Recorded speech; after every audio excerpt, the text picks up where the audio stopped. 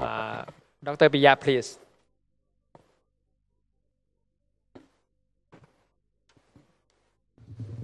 Thank you, Dr. Borofia, for the nice presentation, and Priya from Plesin Hospital, Thailand. So let me ask you one question about regarding the, the in the growing children.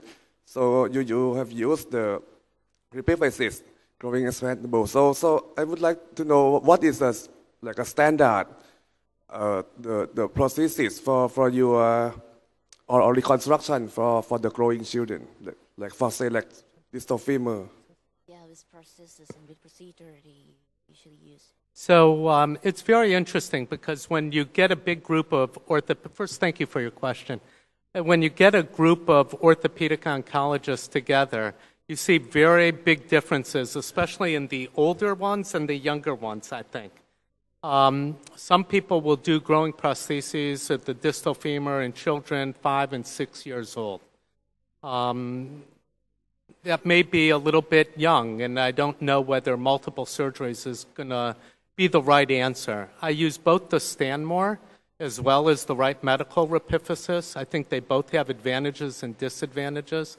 The Stanmore requires more of a bone resection, so I've stayed away from that at times, and I've even needed to make a custom implant sometimes.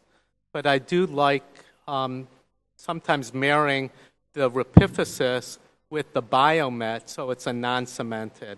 Or in children, I'll use a non cemented stem, knowing that over time the bone doesn't just grow long, it grows this way, and it'll end up being revised. Thank you. Dr. Pusapong. Uh, I, I have a one question. Uh, you talk about the functional outcome that have a many method, many instrument to measure the functional outcome.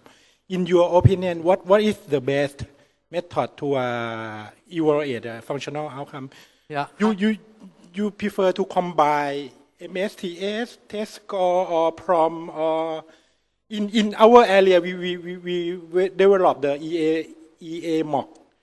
Uh, like the, like the, it, it same the MSTS score also. So what, what is your opinion? Yeah, so I- also a very good question, and thank you for asking. Um, I'll give you an honest answer. I use MSTS because it's quick and it's simple.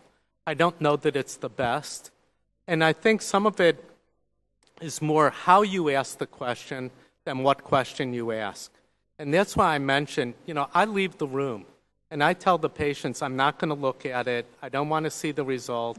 It's just there because I do think patients really like most of us and they mm-hmm. want us to feel good about ourselves. So they give us better scores than we deserve. Thank you.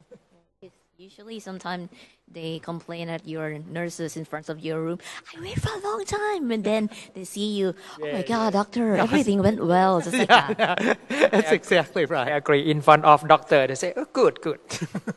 Yeah. I do it over and over, doctor. It's like that. Uh, Professor Virachai, please.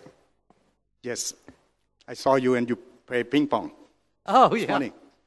He was better. Yeah, um, I agree with you that you said that functional assessment, function, it, it doesn't mean quality of life. Because the quality of life that we are using now is a generic quality of life. And when we saw patients with uh, children with tumor and the adult with tumor, quality of life is different. Yeah. And you use a generic quality of life, is maybe it's not appropriate for specific children and adult.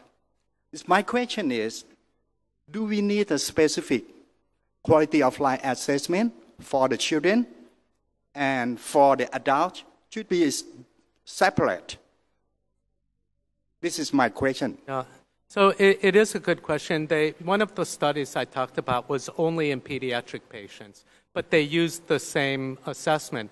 But I think it also depends on when you ask the question from the time of the surgery and how old the person is. So someone who's maybe eight or nine years old, they may not have the same ability to adapt as someone who's 15, 16 years old. Right.